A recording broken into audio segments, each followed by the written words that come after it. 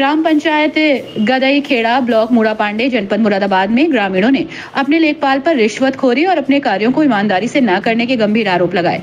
उसको बर्खास्त करने की मांग की।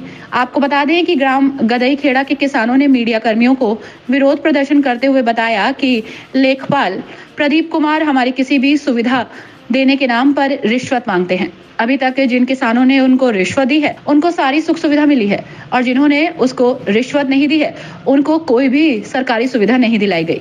कुछ किसानों का तो यहाँ तक कहना है कि अगर इस लेखपाल को बर्खास्त नहीं किया गया तो हम आत्महत्या करने को मजबूर होंगे। उसके जिम्मेदार उच्च अधिकारी होंगे।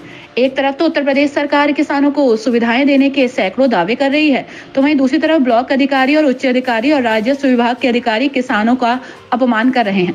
प्रदीप कुमार लेखपाल ने पूरे गाँव में भ्रष्टाचार मचा रखा है। गरीब किसानों से आधे पैसे लेकर काम करने को कहता है। किसानों का कहना है कि अगर प्रदीप कुमार लेखपाल को नहीं हटाया गया तो हम लोग आत्महत्या कर लेंगे। इसकी ज़िम्मेदारी उत्तर प्रदेश सरकार की होगी और प्रदीप कुमार लेखपाल की होगी। समस्या ये है, जितनी समस्या मेरे पास आ रही है गाँव की सिगरी। पैसे लेखपाल प्रदीप लेखपाल हमारे यहाँ हल्का पे तैनात है। उसकी ये शिकायत आ रही है भी जिसके पैसे जो है जिस पर ज़मीन भी नहीं है उसके भी पैसे डाल लिया आधे पैसे तय करके तब डाल लिया बाढ़ के? और बाढ़ के। और जिस पर ज़मीन है वो पैसे नहीं दे पा रहा तो उसके नहीं डाल लिया है। सैकड़ों शिकायत मेरे पास आ चुकी है ऐसी। हाँ और ज़मीन नापन की शिकायतें बहुत आ चुकी हैं ऐसी कि ज़मीन गैर पैसे के दस हज़ार रुपये माँगता है तब ज़मीन माँगता है। नहीं नहीं नहीं नहीं थे लेखपाल आए नहीं थे उस दिन लेखपाल आते तो सारा गाँव उसी बात को धरता आए नहीं थे उस दिन।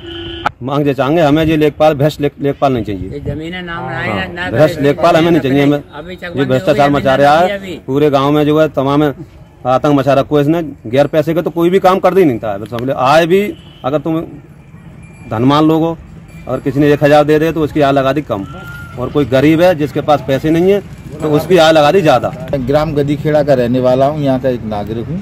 क्या समस्या है? समस्या ये है ये प्रदेश लेखपाल जो है वो ऊल जलूल काम करता है। जैसे तुमसे पैसे ले लिए उसने तय कर लिए। तो तुम्हारी दस बीसे ज़मीन है तो दस हज़ार रुपये माँगता है कि भाई दस हज़ार रुपये दे दो तो दस बीसे ज़मीन नाप दूँगा। और जिसके पास पैसे नहीं तो उसका तो वो नापेगा ही नहीं। और दस बीसे जिसके नाम ही ज़मीन हो तो उसके पास तो पैसे होने का सवाल ही नहीं उठता कि पैसे होंगे उसके पास। किस तरह हम क्या मांग करना चाहेंगे आप? हम तो ये मांग करनी चाहिए इसे दंड दिया जाए उसको उचित दंड दिया जाए वो सही से काम करे या फिर ये ना। सुधरता नहीं है तो